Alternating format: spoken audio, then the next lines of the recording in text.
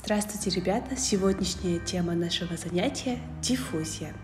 Наверное, вы уже сталкивались с этим процессом в школе и задавались вопросом, а что такое диффузия? Как она происходит? Какое влияние оказывает на окружающую среду? Ребята, а вы знали, что именно диффузия является причиной распространения запахов и смешивания жидкостей? На все эти вопросы мы с вами попробуем найти ответы сегодня. Явление, при котором происходит взаимное проникновение молекул одного вещества между молекулами другого, называется диффузией. Этот процесс может происходить в газах, жидкостях и в твердых телах. Наиболее быстро диффузия протекает в газах, наиболее медленно в твердых телах. Давайте проведем с вами маленький эксперимент. Мы взяли две чашки Петри и в одну из них налили холодную воду и положили несколько кусочков льда, чтобы вода охлаждалась. А в другую чашку налили горячей воды.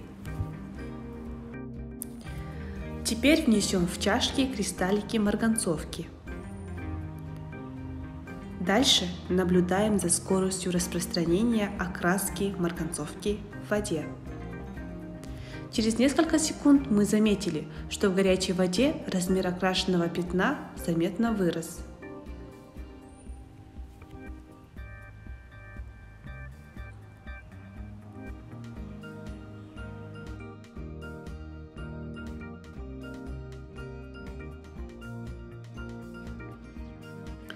А в холодной воде скорость окрашивания ниже. Здесь едва окрасилась лишь центральная часть.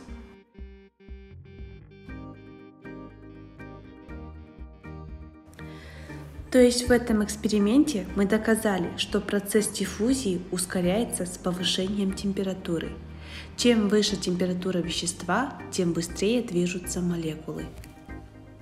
С диффузией мы сталкиваемся каждый день. Например, в природе питание корневой системы растений, диффузный обмен сквозь поверхность листьев, поступление влаги сквозь листья, кислородный обмен в легких, снабжение водоемов кислородом.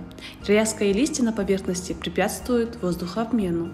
Кальмар при нападении на него выделяет темно-синюю жидкость.